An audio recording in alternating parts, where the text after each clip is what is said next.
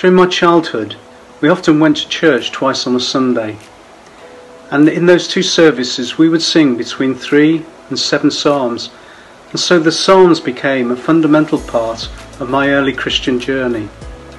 But perhaps the most formative experience of the psalms I had was when my grandfather took my auntie away on holiday and we went to stay with my grandmother.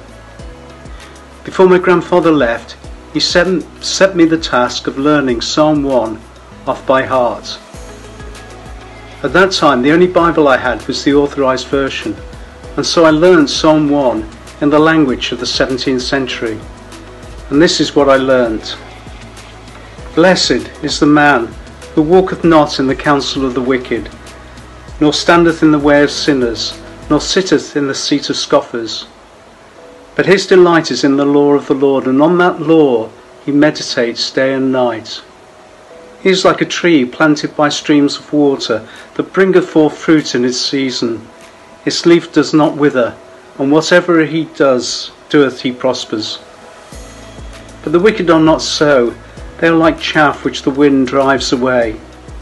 The wicked will not stand in the seat of judgment, or sinners in the congregation of the righteous. For the Lord knoweth the way of the righteous, but the way of the wicked will perish.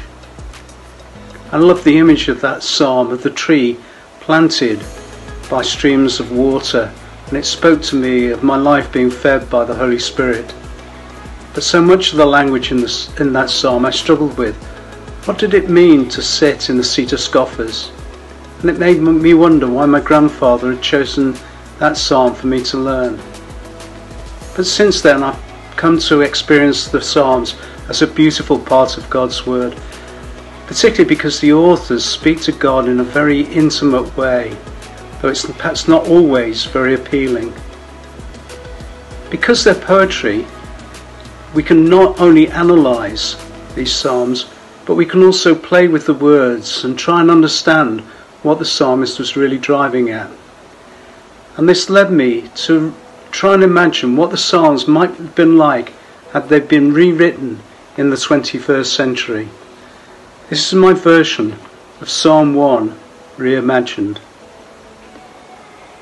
If you want to know deep happiness, don't waste your time listening to the advice of twisted minds, or joining in the chatter of devious hearts, or laughing at the humour of those who devalue everything of worth.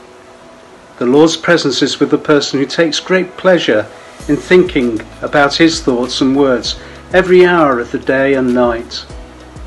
They are like a tree rooted by a flowing stream. They are evergreen and produce plentiful fruit at the right time. In contrast, those whose hearts are set on wrong are like dying autumn leaves blown around by gusts of wind.